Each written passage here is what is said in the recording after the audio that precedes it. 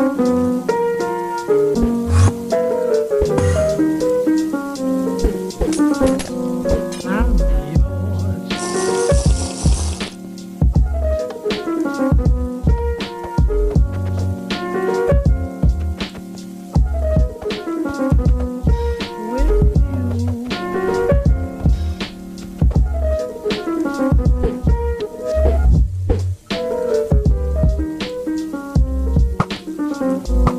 time, baby.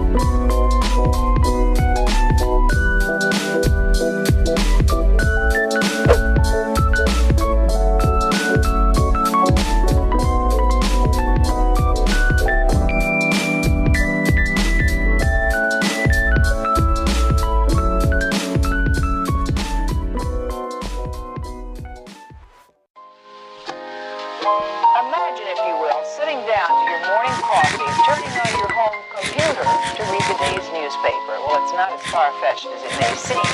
In fact, both local San Francisco papers are investing a lot of money to try and get a service just like that started. Science editor Steve Newman reports on one person already using the brand new system.